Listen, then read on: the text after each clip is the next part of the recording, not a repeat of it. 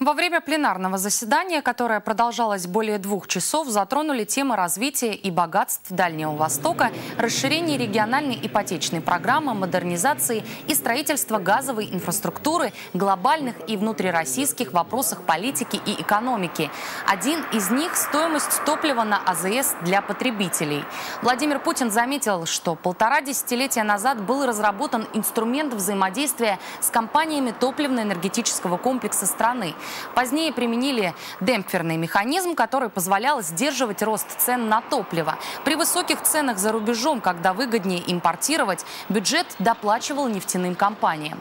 В обратном случае НПЗ платили деньги в казну. Баланс нарушили. Сейчас правительство России занимается решением проблемы. Правительство этим занимается. Э, связано это, я думаю, что здесь э, производители наши, они правы.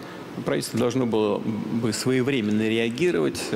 Были приняты соответствующие решения, как известно, но не так давно, для того, чтобы удерживать э, паритет между ценами внешнего рынка и внутреннего рынка.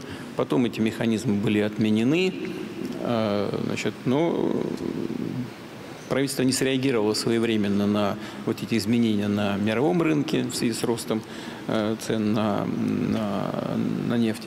Э, ну, это регулируемая э, позиция.